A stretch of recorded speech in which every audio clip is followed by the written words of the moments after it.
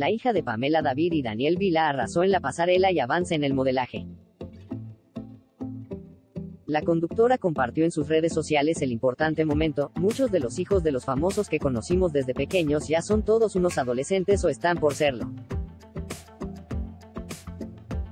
Algunos se mantienen alejados de las cámaras y cultivan el bajo perfil, mientras hay otros que optaron por seguir los pasos de sus progenitores.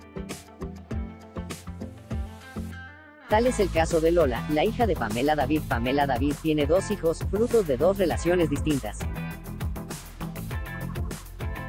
El mayor se llama Felipe y tiene 15 años. Él nació del primer matrimonio de la presentadora de TV con el basquetbolista, Bruno Lavaque.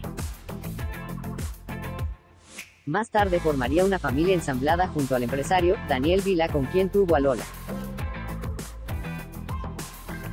Más allá que la única hija mujer de Pamela tiene solo 10 años ya debutó en el mundo del modelaje y las pasarelas de la mano de Anamá Ferreira.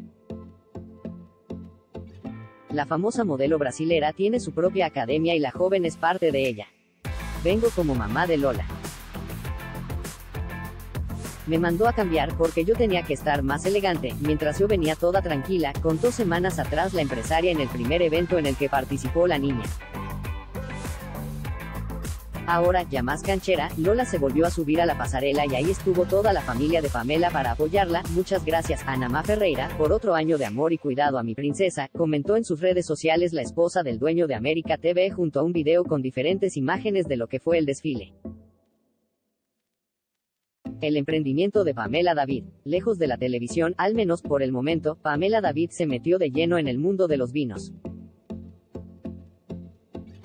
La conductora lanzó su propia marca hace un tiempo y ahora, en sus redes sociales, anunció el lanzamiento de la segunda añada de su vino rosado, Mel, sigla de las iniciales Mi Espíritu Libre, en sus dos versiones, Mel Rose y Mel Extra Brut Rose.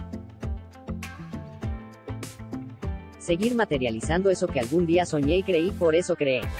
Se viene la segunda añada.